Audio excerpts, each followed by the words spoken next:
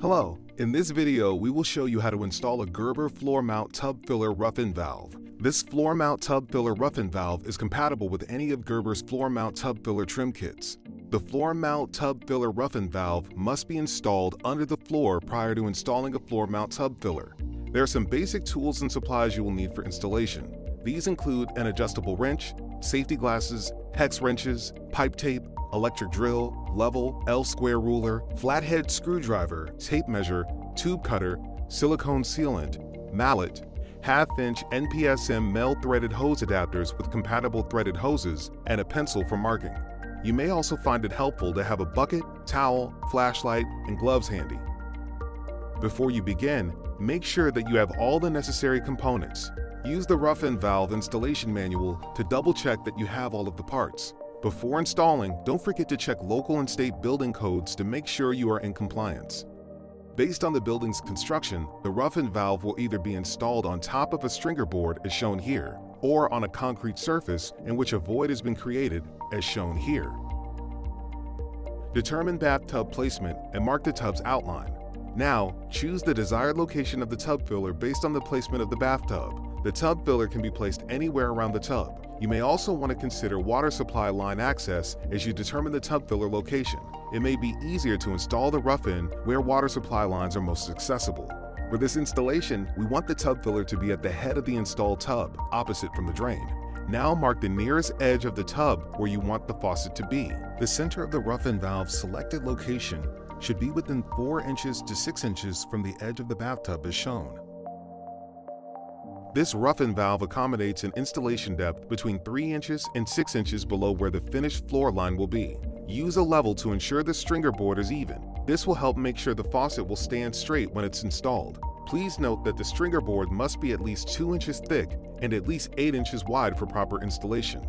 If installing on concrete, use a level to make sure the base of the void is even. Use the minimum and maximum guidelines on the plaster guard to ensure the valve is positioned at the proper floor depth. These guidelines make it easy to determine the proper depth placement of the valve before the finished flooring is installed. The thickness of the finished floor should be between these two markings.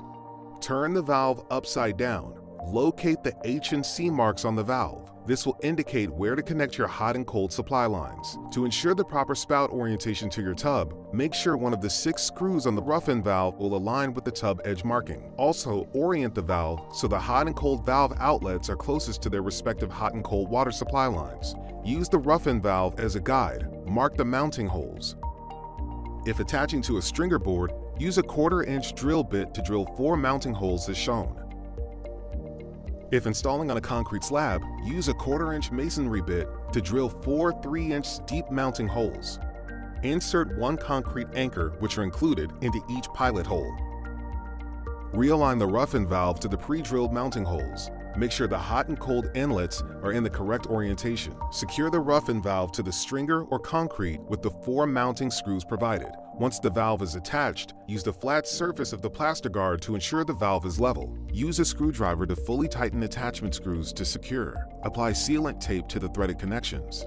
Thread hot and cold supply assemblies into the rough-in valve inlets. Now remove the plaster guard by unscrewing the attachment screws from the assembly.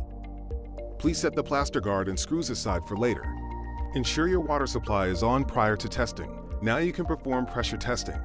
Check for leaks at all connection points. Once pressure testing is complete, you can flush the lines. You can flush hot and cold lines individually or both at the same time. We'll flush both lines at once. Remove the test plugs from the outlets. Attach the adapters with half-inch NPSM male threads to each outlet. Attach adapters to compatible threaded hoses. Direct the other end of the hoses into the bucket. Turn on the water supply valve and run until the lines are fully flushed and no debris remains in the lines. Turn off the water supply valves. Remove the hoses and adapters, using the towel to catch any residual water in the hoses. Reattach the test plugs into the valve outlets. Reattach the plaster guard to the valve. Now the finished floor can be installed. Once the finished floor is installed, you can install your Gerber floor mount tub filler. For instructions on how to install the floor mount tub filler kit, please refer to that video on Gerber's website. If you have any questions while installing the floor mount tub filler rough-in valve, please know our dedicated technical support team is here to help. Please visit gerber-us.com/support to view contact information and hours of service. Congratulations! You have successfully installed one of Gerber's floor mount tub filler rough-in valves. Designed for our floor mount tub fillers, this valve will provide lasting functionality and exceptional performance. Thank you for choosing Gerber.